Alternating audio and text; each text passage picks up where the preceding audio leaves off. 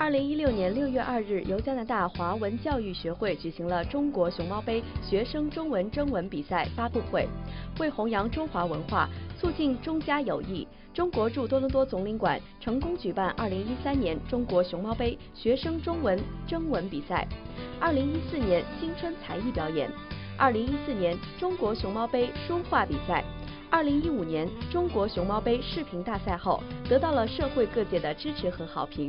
在此基础上，中国驻多伦多总领事馆今年继续在安大略省、曼尼托巴两省在校中小学生当中展开中国熊猫杯学生创作演讲大赛。加拿大华文教育学会承办中国熊猫杯学生创作演讲大赛，由安省和缅省各教育局、各中文学校为单位组队。我是加拿大华文教育学会的任艳红。呃，今天呢，我们在这里举行一个2016年中国熊猫杯学生中小学生演讲大赛的新闻发布会。那这个活动是领馆继大熊猫来多伦多以后开展的系列活动之一。这个活动呃，今年主要是演讲。以前呢，我们搞过征文，搞过书画，我们也搞过呃。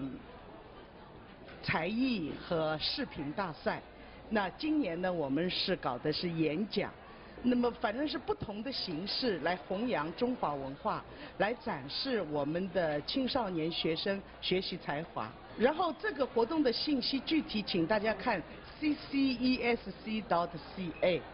那么在学校选拔的基础上，我们在电视台举行决赛，决赛完了以后有领馆颁奖。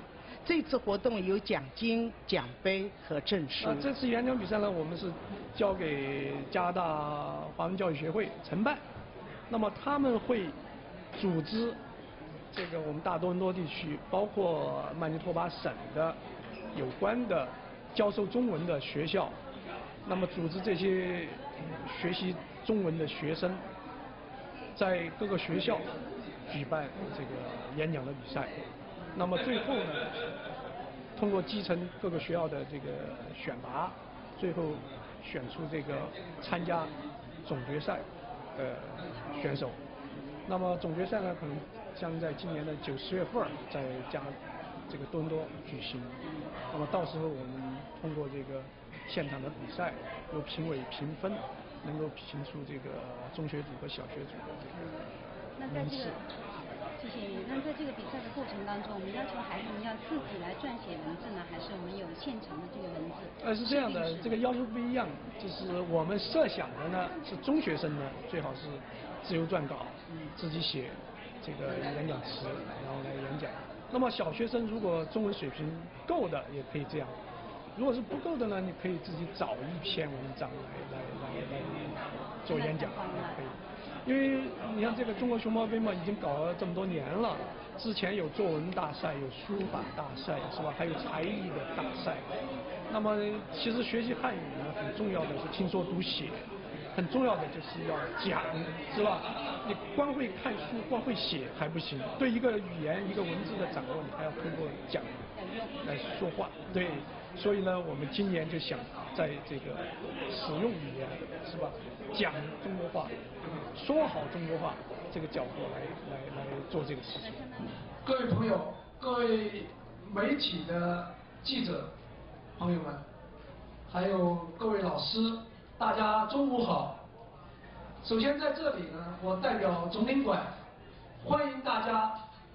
在百忙之中抽出时间来出席我们今天这个二零一六年中国熊猫杯中小学生演讲大赛的新闻发布会。那么我今天来的路上呢，我还在想，就是说今天这个发布会上，我跟大家讲些什么？这个中国熊猫杯的学生的。比赛呢，我们已经办了好多年了。这个是一个系列，已经成为我们总领馆在我们总领馆领区开展华文教育的一个品牌。那么过去几年里啊，我们曾经举办过这个中国熊猫杯的学生作文征文比赛，举办过这个学生才艺比赛，还有书画的比赛。那么在去年呢，我们又因应这个高科技新潮流的发展，又搞了一次中国熊猫杯的学生视频创作大赛。今年我们又一次相聚在皇家医院。这个熊猫杯大赛啊，是刚刚张副总已经讲了，是一个系列大赛。这个大赛本身它就是体现咱们祖籍国中国对海外华人华侨子弟的关怀和爱护，对我们华文教育的支持。我们希望安省和缅省的广大中小学生，特别是华裔学生，呃，踊跃参加。各中文学校、各教育局所在的教学点，呃，认真组织安排，呃，在国庆庆祝国庆的以后啊，我们就来进行颁奖。好，呃，谢谢各位媒体的大力支持，谢谢。你刚才问是吧？就是这么多年，中领馆在普及华文教育方面做了这么多事情，有没有成效？那我的回答，那肯定是有的。百分之百的有，是吧？这个大中东地区有六七十万华华侨，那我们学习中文的这个华人的子弟很多。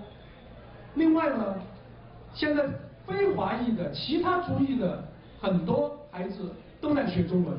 据我所知，这个多伦多公校教育局和天主教教育局下面都有很多学校开办了中文班。那么我们总领馆。呃，也带国内向他们提供有关的这个中文教材。那么每年到我们总领馆来取教材的人数只增不减。这从数量上就可以看到学中文的人是越来越多。